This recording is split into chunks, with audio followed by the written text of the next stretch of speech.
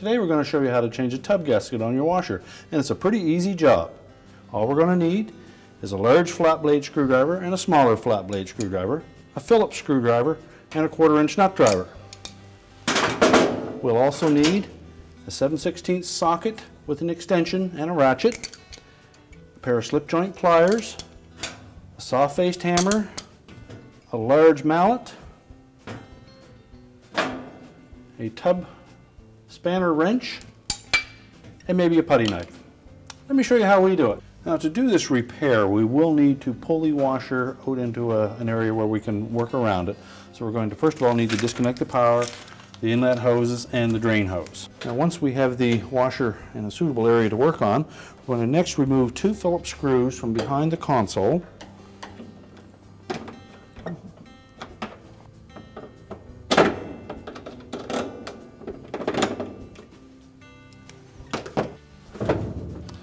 Will allow us to just lift up slightly on the control panel and push it forward and disengage the hooks that attach it to the main top. And then we can rotate the whole console back out of the way.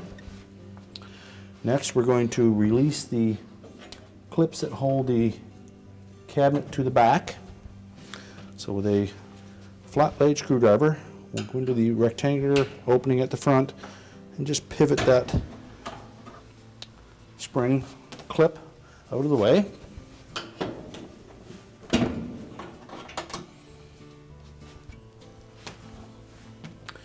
Next we're going to disconnect the lid switch harness. Just release the locking tab and pull that connector away from the main top.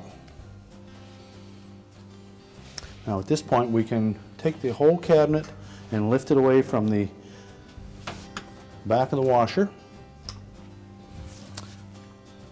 Tilt just slightly forward.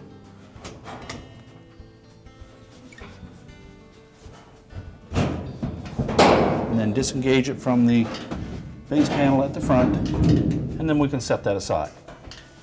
Now with the cabinet removed we now have access to the tub assembly.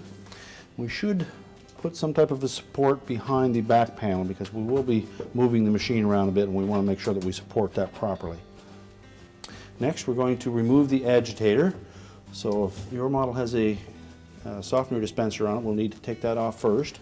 Just give it a little bump and pull that up out of the agitator. Then with a 7 16 socket with an extension, we'll loosen that retaining bolt just hold the agitator with one hand and break the bolt free. And once you've loosened the bolt completely, then reach in and pull straight up on the agitator and then pop that off and we'll set that aside. Next we're going to remove the tub retaining nut. So we'll need our spanner wrench.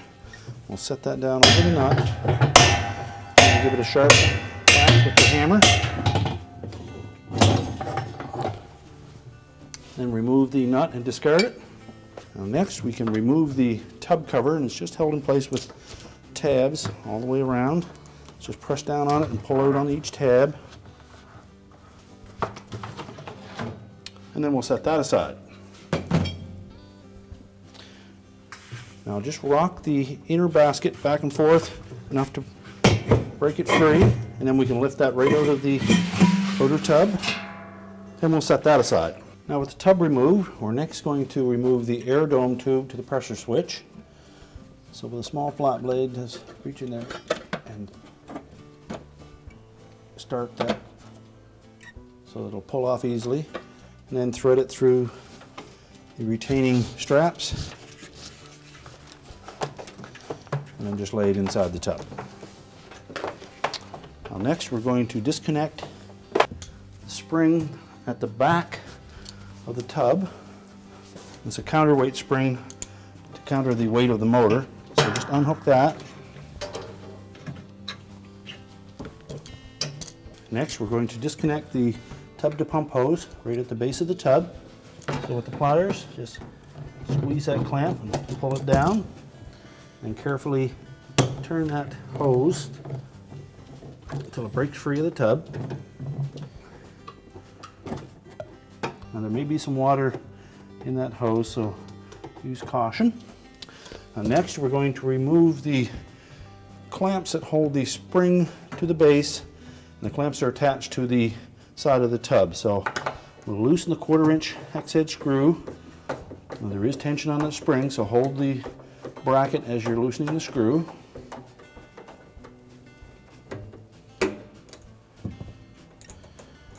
And then rotate the bracket away from the tub.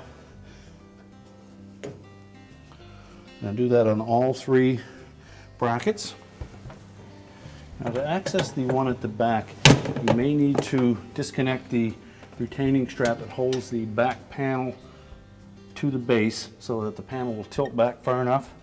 Otherwise use a ratchet with a quarter inch socket on it so that you can get that screw out. Now with the suspension spring brackets removed, we next have to take the drive block out. So with a large flat blade screwdriver, we just go down in the slotted opening on the side of that, just spread it gently, then slide it off of the basket drive shaft. We're ready to pull the outer tub off of the center shaft. Now it's a friction fit, so it may be a bit stiff on there. So we'll carefully place our feet on the base frame, taking care not to stand in the middle where we may bend the frame. And we'll just hold that down and then rock that tub back and forth. And we can lift it clear. Now at this point, we can just squeeze the old tub seal and push it out through the back. It may be a bit stiff and dried out, but then we can just set the tub upside down on the floor. And we'll discard the old tub seal. Next we want to make sure that we have the inner surface of that tub opening nice and clean. So if there's any soap residue or crud built up there, just clean that out with a damp rag. And we're also going to clean this portion of the shaft. So take a uh, piece of Scotch-Brite pad or something that's not too abrasive and clean all the soap crud off of that. Now once we have that shaft nice and clean and smooth, we'll also take a little bit of soapy water and we're going to put it both on the outside of that tub seal as well as on the inside surface so that it will slide over that shaft easier. And you can also put a little bit on the inside circumference of that tub. And we're just going to take that seal, force it through the bottom.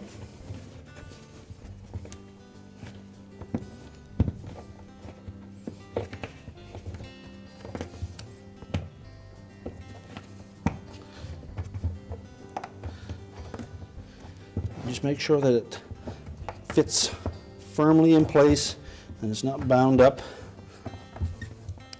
And again, we'll put a little bit of soapy water on the inside edge of that. And then we can reinstall the tub on the basket drive. So line it up approximately where it's going to end up.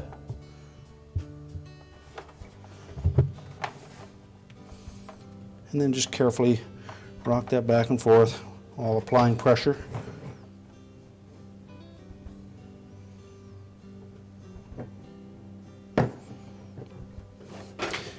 And then pressing on the bottom of the tub, we'll make sure that it's seated all the way to the bottom. And then we can reconnect the tub to pump hose and our suspension springs and begin our reassembly.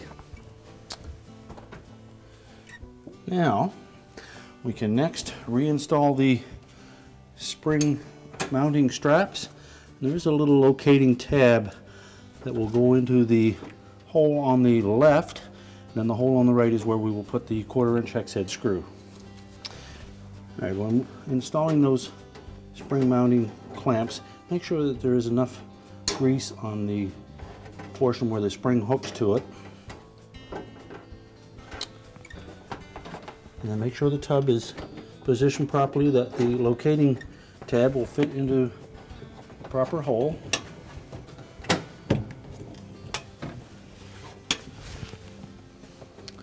And then insert the quarter inch screw.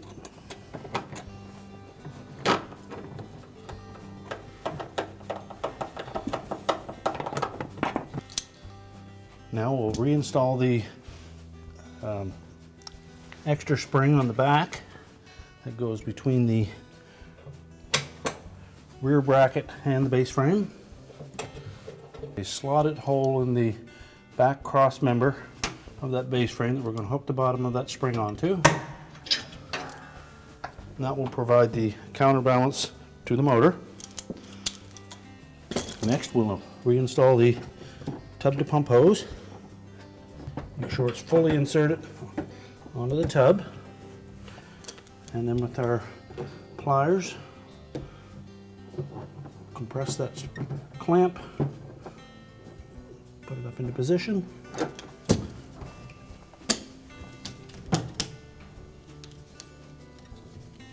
Next, we'll reinstall the air dome tube. Remember to feed it up through the retainers on the back panel.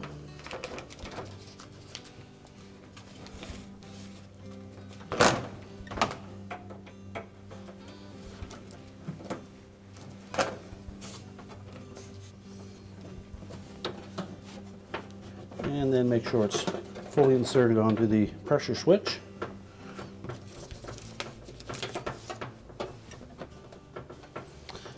Check to make sure there are no kinks. Next we can put the drive block back on the spin tube. Simply just slide that down over, push it firmly into position, keeping two tabs on that spin tube. Make sure they line up with the two openings on the drive block.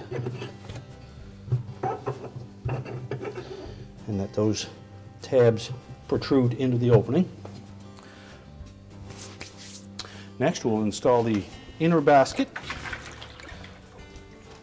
Slide it down over the spin tube, rock it into position. Next we'll install the tub nut and we'll put the tapered edge down, the threads by hand.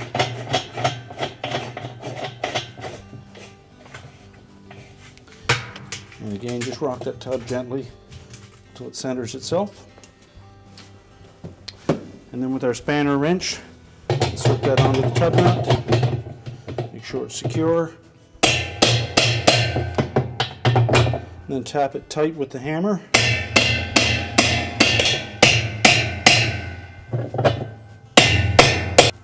It's good and secure.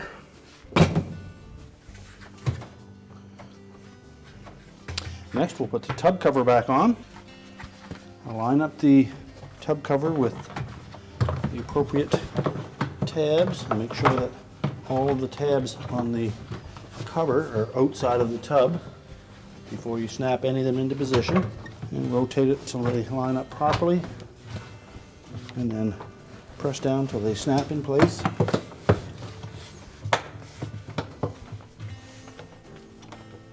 Now with the tub cover properly installed, we can next put the agitator in place. Simply slide that down over the splined shaft.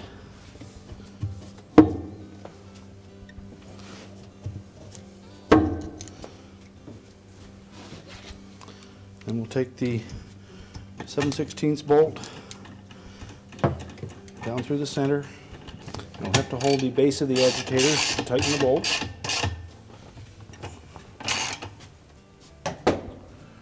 Reinstall the fabric softener dispenser. Just pop it into place.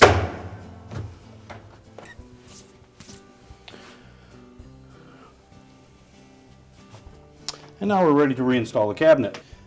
Now when we go to reinstall the cabinet, we need to make sure that we engage the bottom lip of the cabinet under this suspension bar at the front and as well line up the two locating tabs, one on each side, front and rear, with the appropriate slots in the base of the cabinet.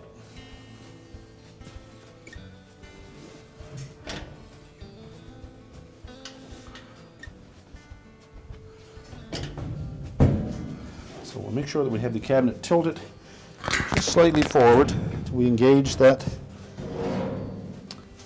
front suspension bar and then lower it down into position on both sides. Now you may need to tilt it up just slightly to get the water inlet assembly in underneath the cabinet.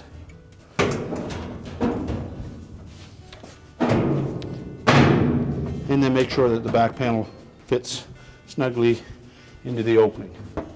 Once we have the cabinet lined up straight with the back panel, we can install the retaining clamps. We'll take the short end and hook it on the back panel. And we're going to press that firmly into the main top till it latches. We'll do the same on the opposite side.